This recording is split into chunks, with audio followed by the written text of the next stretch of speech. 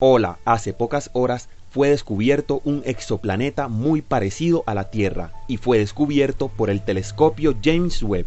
Este exoplaneta se llama LHS 475b, es rocoso y es casi exactamente del mismo tamaño que el planeta Tierra. Y lo más curioso es que ese planeta da una vuelta en torno a su estrella en solo dos días y es mucho más rápido que cualquier otro planeta que se haya visto antes. Y ya se confirmó que tiene el 99% del diámetro de la Tierra. Este exoplaneta fue descubierto por el método de tránsito planetario, cuando el espectrógrafo del infrarrojo cercano del telescopio James Webb lo capturó de manera fácil y claramente con solo dos observaciones de tránsito y después de haberlo descubierto se va a empezar a estudiar su atmósfera para ver si tiene oxígeno o comparte más características con la Tierra. El equipo que lo descubrió también señala que es posible que el planeta no tenga atmósfera,